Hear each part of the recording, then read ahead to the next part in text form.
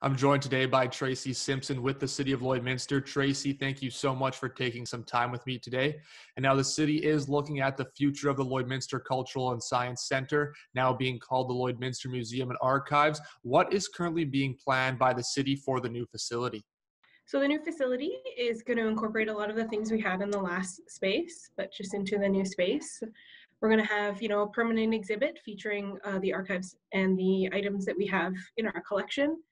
We're going to have an art studio and the pottery studio, which are features that we currently have that we're moving over. Uh, we're going to provide some space for some traveling exhibits, uh, ones that we can share from other museums, as well as featuring kind of some specialty items that we already have in our collection. And then programming and gift shop space and all of those features that a museum traditionally has. Now, one of the things the city plans to focus on with the new facility is local history. Just why the emphasis on local history here with the new facility? Lloydminster has a unique story to tell, and we want to um, be part of sharing that story. And we um, we have a, an expansive um, collection of of items and artifacts that feature that story, and we want to put them on display so everyone can enjoy them.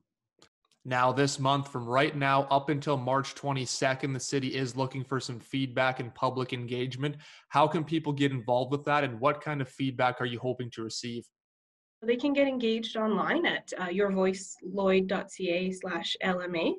And we're looking for ideas on what they see the future of the facility look like, what they want to, what they enjoy about uh, um, going to the museum, what they look forward to in the new space. There's opportunities to do surveys and idea boards there's some Q&A for the public. And uh, we're just looking for them to reflect on their past experience, what they enjoyed about that, and what they look forward to in the future. Now, how will that feedback be used by the city when it comes to creating the new Lloydminster Museum and Archives? So the feedback will incorporate into our vision and our, our plans for the facility.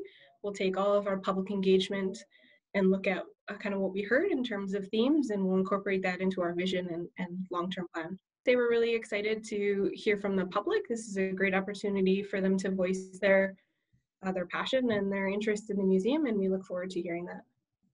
All right, Tracy, definitely an exciting time here for the new facility. Thank you so much for taking the time with me today.